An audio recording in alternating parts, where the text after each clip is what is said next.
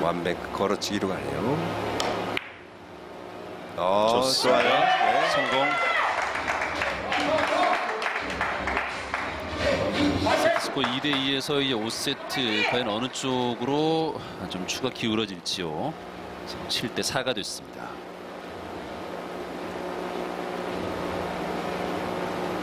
항상 웃는 얼굴로 네, 좀 네. 굉장히 좀 긍정적인 마인드를 갖고 있는 오성욱 선수인데 한때는 뭐 smile man이라고 불리기도 했었죠.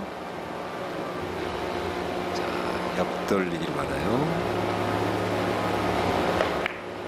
직접 쭉 돌리기. 좋아요.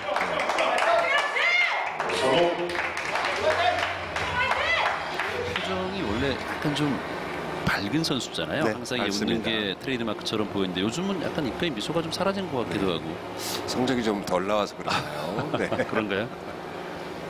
근데 항상 겸손하고 그렇죠. 발라요. 네.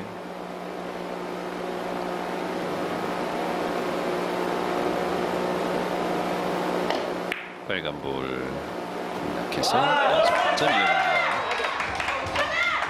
점 7대 6 이제 한 점 차.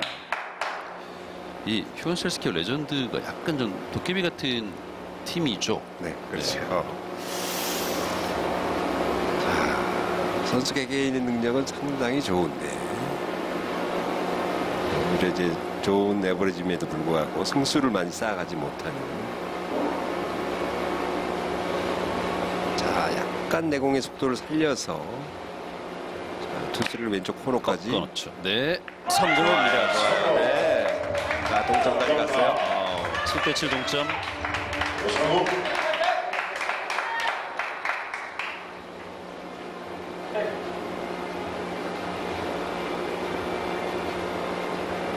자, 와네스트로 갈 때 살짝 곡선으로 휘는 모습이 보였는데요. 그렇죠. 바로 저렇게 노린 거죠. 네. 네, 당점을 이제 하단 당점을 쓰니까 one cushion 이후에는 지금 끌리는 힘이 작용을 한 거죠. 그렇습니다. 옆돌리기. 자, 두께를 써서 five cushion으로 공략했습니다. 네. 오성 점